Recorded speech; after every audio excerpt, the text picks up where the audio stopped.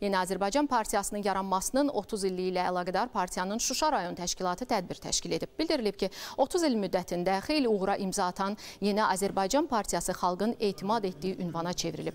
Cənubi Qafqazın ən güclü siyasi təşkilatı olaraq partiya bu illər ərzində böyük yol qət edib.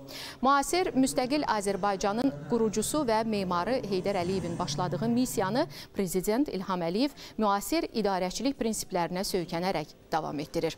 Azərbaycanın son illərdə əldə etdiyi böyük nailiyyətlər Ulu Öndərin yaratdığı və bugün Prezident İlham Əliyevin sədri olduğu Yeni Azərbaycan Partiyasının fəaliyyəti ilə bilavasitə bağlıdır. Vətən müharibəsində qazanılan qələbədə də partiyanın yürütdüyü ideologiyanın rolu danılmazdır.